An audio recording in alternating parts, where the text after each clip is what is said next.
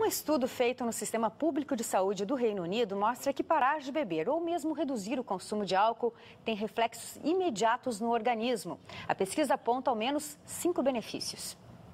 Foram quatro anos bebendo sempre e um ano bebendo muito. Agora o Gustavo, ou rapper Mr. Kill, parou. Realmente maneirar, maneirar bastante, porque eu acho que isso pode acabar acarretando em realmente estar atrapalhando as minhas atividades, o que eu faço, quanto ao meu trabalho, quanto à minha música, quanto aos meus projetos pessoais.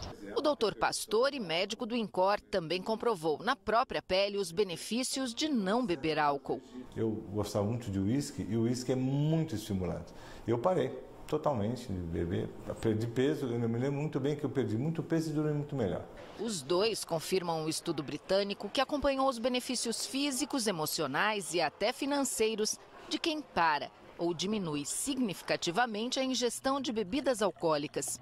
O sistema imunológico funciona melhor, a pele fica mais saudável, hidratada e bonita, o humor e a produtividade ganham pontos o peso corporal estabiliza ou até diminui e o sono fica imediatamente mais eficiente. Vive mais quem dorme mais.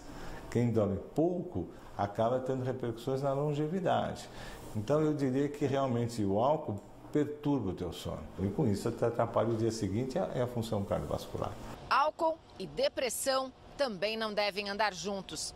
Quem bebe achando que vai esquecer a angústia e a tristeza sofre muito mais logo depois. Ansiedade, desânimo e mais tristeza invariavelmente vêm junto com a ressaca.